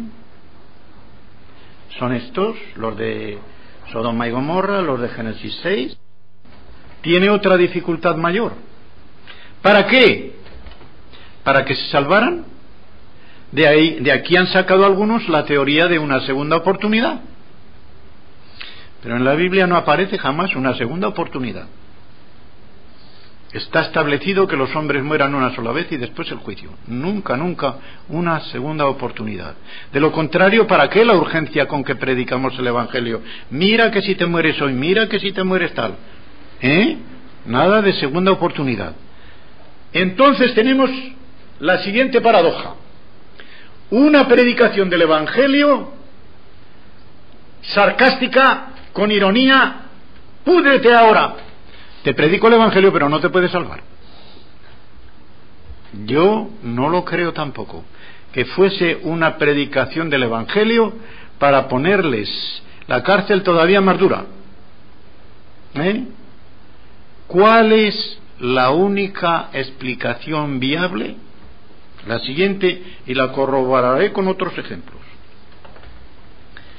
Toda predicación del Evangelio, de alguna manera, que se hizo desde el principio del mundo y se hará hasta el final, es una participación de la predicación de Cristo. De modo que todo lo que se dice que se proclamó alguna vez es como si Cristo lo hubiera proclamado. De modo que lo que no proclamó a aquellos que desobedecieron es como si Jesucristo lo hubiera proclamado. Y cuando mejor que al cumplirse lo que se llama el misterio pascual o muerte y resurrección. De modo que aquello que hizo Noé se transfiere metafórica y alegóricamente a este lugar, como si el mismo Cristo lo hubiera proclamado por medio de Noé. Entonces había remedio, porque le pudieron haber oído y salvarse, y habrían entrado en el arca. Pero al no desobedecerle a la condenación, encarcelados. Encarcelados porque todavía no se les ha dado la sentencia. A todo el que le diga, mire, en el momento en que uno parte de este mundo, parte ya para sufrir eternamente. No. El sufrimiento eterno comienza con el infierno y al infierno ahora no va nadie. Van al Hades. Las almas de los malos van a la a la parte mala. Las otras van a la presencia del Señor, pero no se les juzga todavía. No se les juzga hasta que no llega el tribunal de las recompensas para los creyentes y el tribunal del trono blanco para los no creyentes. De modo que, en este sentido, y únicamente en este sentido, a mi juicio y de los comentaristas modernos, más fiables se puede entender este, este versículo. Y como he dicho, no es la única vez en que se habla de una transferencia del pueblo a Cristo o de otras palabras a Cristo. Por ejemplo, cuando en Mateo se nos dice al volver de Egipto la, la familia, el niño Jesús con su madre y con José, y dice, para que se cumpliera lo escrito por el profeta, de Egipto llamé a mi hijo. Busca uno la referencia y la busca creo que si no sea son. Bueno, lo podríamos ver en la referencia de, de, de Mateo, ¿verdad? ¿Quién es ese mi hijo al que llamé de Egipto? Israel. A Israel lo llamó y lo sacó de Egipto. Pero Jesucristo era el representante vivo del pueblo de Israel. De modo que el Mateo pudo decir, aplicar a Cristo, lo llamé de Egipto, porque se daba esa coincidencia que volvían de Egipto la familia de vivir allí, aplicándole un texto que era de Israel. Pero les voy a decir otro más fuerte. No lo suelo encontrar en los, en los comentarios y creo que a muchos les ha dado un quebradero de cabeza muy fuerte. Hebreos 11, ya verán, ya verán lo que dice de Moisés.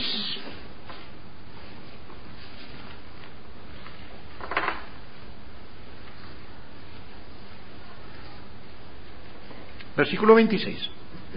Hebreos 11, 26. Está haciendo la historia de Moisés, que en, Hebreos, como personaje tan importante, está bastante eh, extensa como está la de Abraham. Primero la de Abraham, después la de Moisés.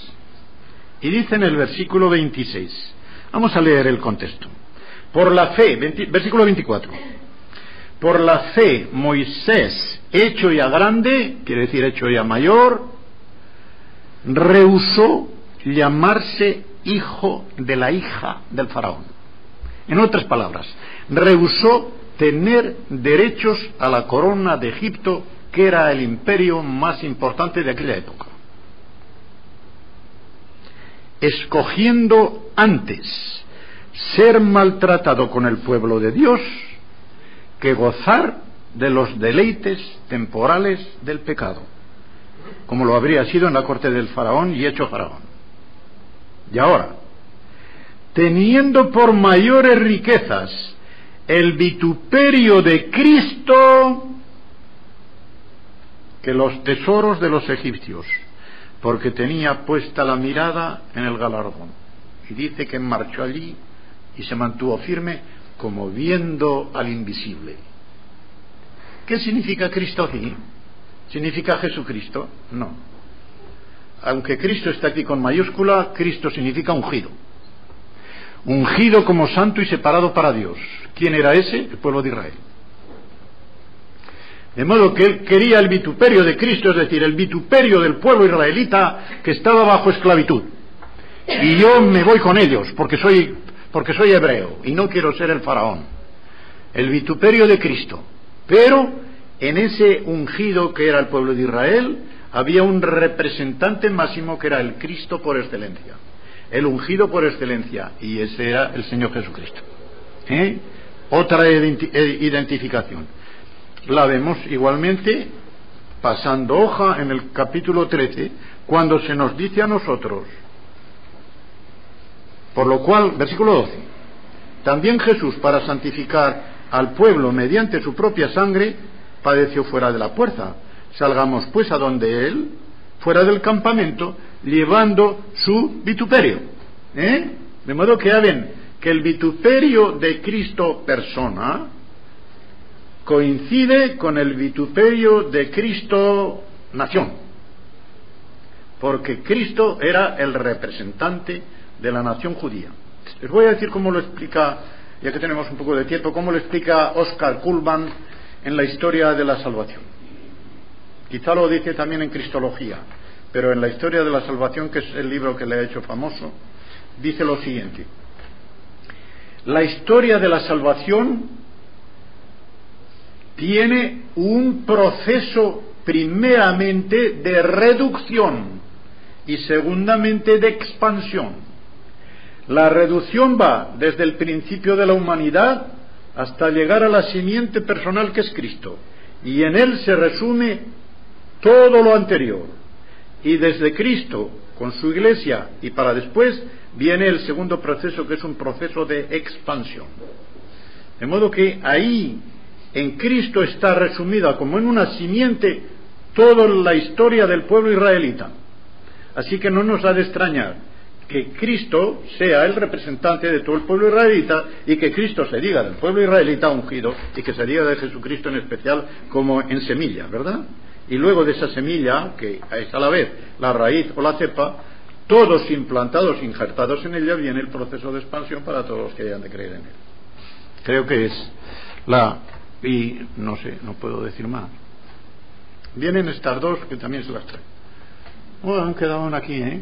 Ah, no, esta ya está dicha así. En Efesios 1.4, según nos escogió en él antes de la fundación del mundo. No dice más, pero supongo que lo, lo que quiere explicar, lo que quiere que se le explique es qué significa eso de que haya un, un una elección, antes de la fundación del mundo, cuando resulta que es en el tiempo y ahora cuando cada, una, cada persona toma o no toma la provisión de la salvación, ¿no? Bueno, aquí yo creo que hablé el primer día, en, en el estudio de Efesios, del problema espinoso de cómo se compagina la predestinación desde la eternidad con la salvación en el tiempo, en la cual hay un proceso en que el hombre interviene, rechazando o aceptando la gracia y el poder del Espíritu Santo. Pero aquí lo único que puedo decirles, ya les dije, miren, si se ven confusos en un problema tan difícil como este, tengan presente estas dos proposiciones. Primero, todo lo que es de salvación y por lo tanto de, elección o predestinación es de Dios. Todo lo que es de condenación es culpa, cosa personal del hombre. Pero si hay, dentro del plan salvífico de Dios y en Cristo, hemos de tener en cuenta que la predestinación tiene una presciencia, que mediante esa presciencia Dios sabe todo lo que en cualquier clase de circunstancias podría hacer una persona reaccionando ante cualquier proposición que se le haga y que si había de rechazar o no. De la misma manera que Él, para llevar a la salvación a una persona, le mueve psicológicamente de una manera finísima, ya sea tumbativamente, como dije anoche anteanoche, tumba activamente con una gracia irresistible que el individuo se ve como sobrepasado ya de antemano, o de una manera muy fina y progresiva, en que va insinuándose y metiéndole una circunstancia y poniéndole una barrera para que no vaya para allí y abriéndole otra puerta para que venga por aquí. Esto lo hace finísimamente el Señor. Nosotros no nos damos cuenta, nos daremos cuenta allí. Y diremos, ay, qué gracias Señor de que me pusiste aquella barrera allí, por donde me iba a despeñar. Ay, qué gracias que me abriste aquella puerta. Y veremos entonces cómo, por qué circunloquios y circunlo y, y, de todas las cosas que puedan decir circun alrededor, Dios ha ido manejándonos, pero orgánicamente, suavemente, y nosotros hemos creído que hemos llegado a la fe por nuestras propias fuerzas y no, ha sido el Espíritu Santo en la forma que ha ido. Pero en esa forma tan fina el hombre tiene la terrible facultad no de abrir, pero sí de cerrar. El hombre no puede abrir su corazón sin que Dios se lo abra, pero tiene la triste facultad de meterle un cerrojo por dentro y decirle no te quiero recibir. ¿Eh? No se puede ir más allá de este misterio, ya no se puede ir.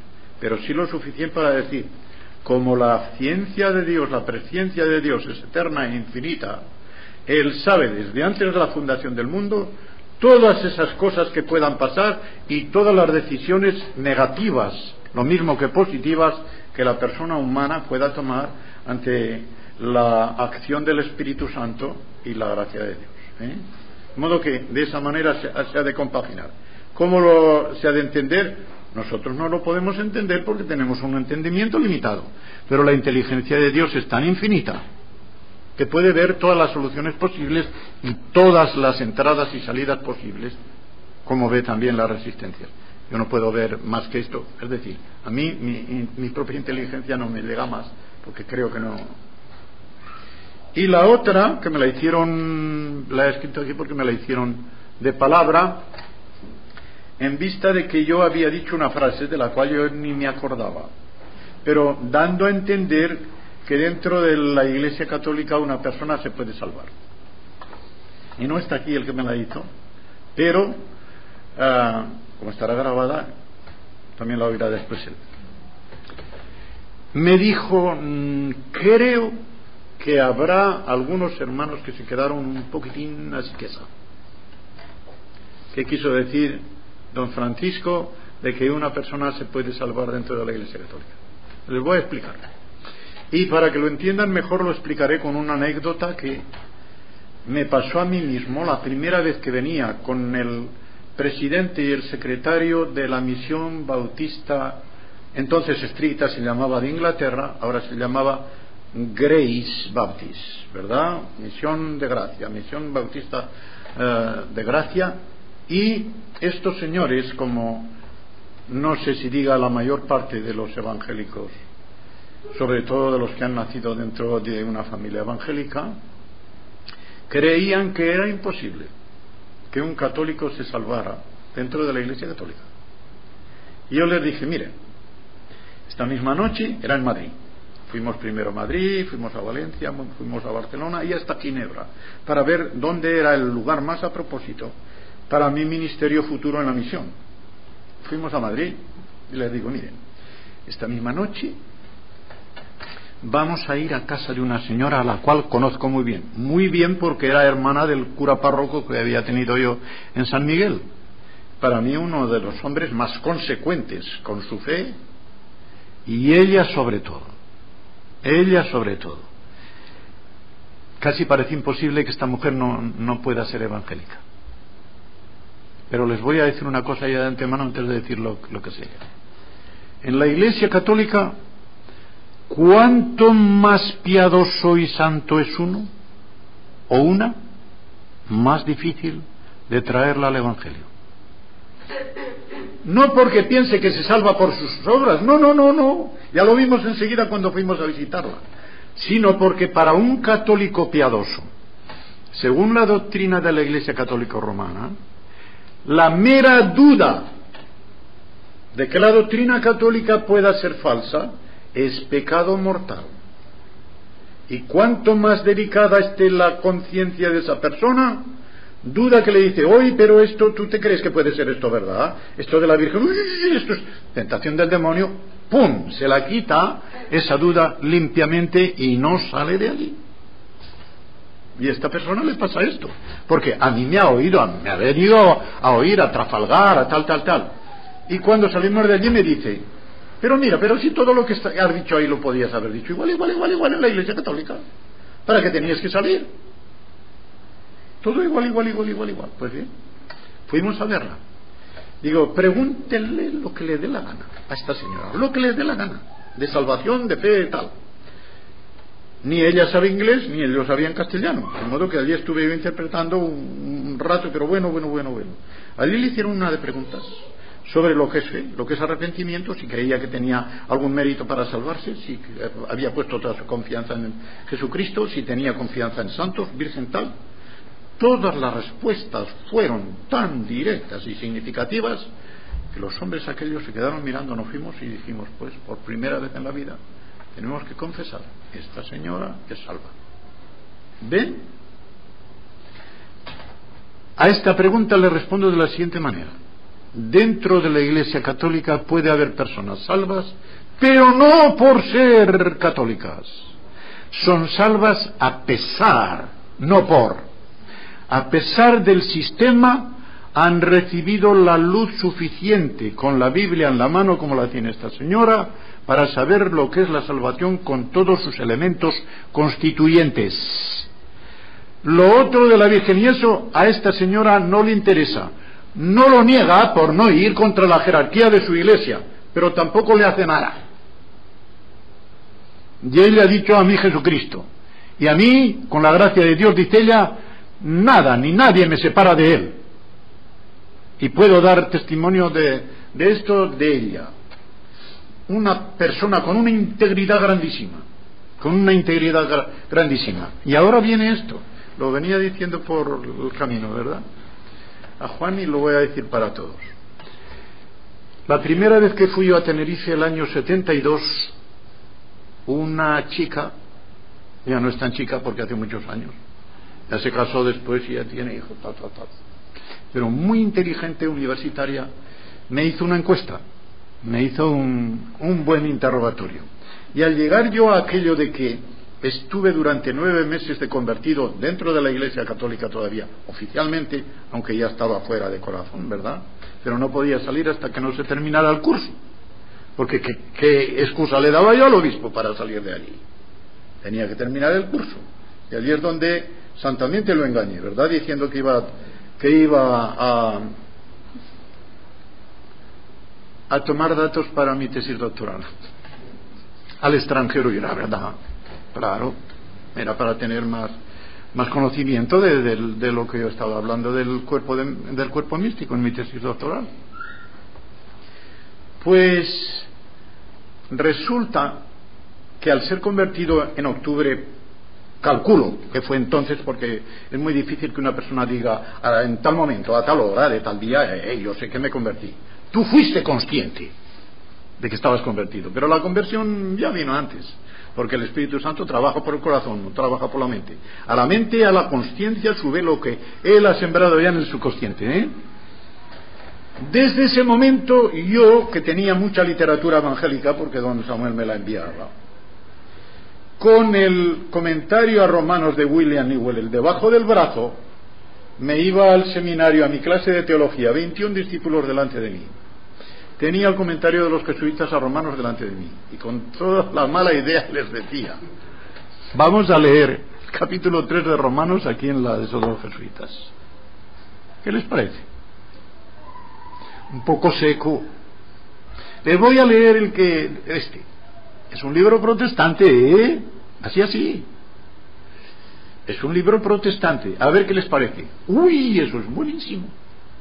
Por unanimidad y me dicen, ¿por qué no nos deja el libro que lo vamos a leer? Digo, uy, me pegué un susto ¿eh? cuando me dijeron esto. Porque si uno, nada más de aquellos 21, pega la chivatada al rector o al, obispo, a mí, me a mí me cargan, ¿eh? El obispo me encierra en la cárcel del obispado que todavía existía y me quedo allí de vida, de por vida. Así, así, lo digo como, como es. Hasta antes del Concilio Vaticano II todos los obispados tenían una cárcel para curas que se desmandaban de esa forma. De modo que hacía lo que había de pasar. Con que yo les dije esto, que hacía reír a los ingleses cuando yo lo decía. Y creo que a los españoles también hace reír. Digo, bueno, vosotros ya sabéis el derecho canónico, ¿no? Estáis para cantar misa. ¿Qué dice el derecho canónico? El derecho canónico prohíbe bajo excomunión comprar, vender, leer, retener y pasar a otros libros prohibidos, entre los cuales se encuentra este. Pero no prohíbe bajo excomunión el oír. Y como yo puedo leer porque tengo aquí el documento del señor obispo que me da permiso para leer libros prohibidos, y ustedes no tienen excomunión para oír, tutti contenti. Miren, estos chicos, el que llevaba la voz cantante de ellos, me dice lo siguiente. Mire usted, don Francisco, usted nos deja el libro y lo leemos todo. Estos chicos estaban derechitos a la excomunión. Estaban dispuestos a ser excomulgados. Nadie dijo ni una palabra pero claro, cuando yo me salí, tuvieron que tener un nieto tan imponente, porque dijeron, ¿qué instrucción habrán recibido estos chicos de un hereje? No he sabido ya más de ninguno de ellos. Pero todos han salido curas porque estaban ya ordenados a punto de salir. Y por ahí estarán, algo les quedaría, ¿no? Solo Dios sabe lo que se pone en el corazón. Pues bien, a lo que voy a lo que voy, ¿eh? fíjese cómo va a pasar el tiempo. Me dice la chica esta. Pregunta siguiente. ¿No creyó usted en algún momento que podía haber hecho más bien en esa forma quedándose dentro de la iglesia, reformando la iglesia desde dentro e instruyendo en el verdadero evangelio a todos los que iban a salir curas en aquella diócesis? ¿Qué preguntita, eh? Y yo le respondí, pues mira, esos chicos que tuvieron esa luz que del Espíritu Santo y por mi ministerio pudieron llegar a ellos, responderán de la luz que tuvieron. Y si la luz no les ha llegado a más de la periferia del sistema, allá ellos. Como he dicho antes de esa señora, quizás se salvarán de esto, aunque no hayan salido. Pero yo no podía quedar dentro porque yo no solamente conocía el núcleo de la salvación, sino todas las demás deformaciones que el sistema ha añadido a ese sistema, a, a la salvación, a la doctrina de la salvación. Por lo tanto, yo con plena conciencia no podía quedarme. ¿Queda más claro? De modo que, si dentro y a pesar del sistema puede salvarse una persona católica, si ha adquirido el meollo de la salvación y no le importa nada lo que sea periferia. Yo no estaba convertido cuando veía a la, sobre todo mujeres, ponerse de rodillas cuando pasaba la imagen de la Virgen. Yo no estaba convertido, pero sabía la suficiente teología para saber que no era Dios. Y le decía, venga, venga, levántese que no es Dios. Así, pero gritándoles en la calle. Pero lo podía decir yo porque iba de canónigo magistral, con mis atributos y ni el obispo ni nadie me iba a decir nada. Pero es mucho peor cuando una persona está metida en eso Miren, el sistema católico romano lo peor que tiene es que, siendo tan corrompido, es tan compacto que es una unidad monolítica. En la Iglesia católico romana, sobre todo cuando yo estaba allí, que era antes del concilio que ha abierto todas las puertas de las dudas posibles y de todo, ¿verdad? Una unidad monolítica en cuanto a la enseñanza y a la práctica que no había ni un solo detalle de doctrina, ni de conducta que no estuviera allí. En la moral, en el derecho canónico, de modo que allí, en cualquier ocasión en que nos encontráramos, ¿qué haría yo en este momento? Si lo tienes ahí en la moral. Ahí está toda la lista de pecados veniales y mortales y de lo que tienes que hacer en cualquier circunstancia.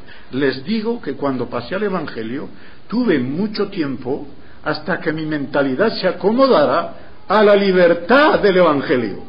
Pero ¿qué haría yo aquí? Cuando estaba en la Iglesia Católica yo tenía todo cuadriculado. Mi conducta estaba cuadriculada, pero ahora me costó y tuvieron que enseñarme cómo tenía que enfrentarme con la palabra de Dios y que solamente cuando conoces bien la palabra de Dios y tienes el discernimiento, que es un don del Espíritu Santo, puedes decir lo que, puedes saber lo que tienes que hacer en una situación particular mediante los principios que la palabra te da.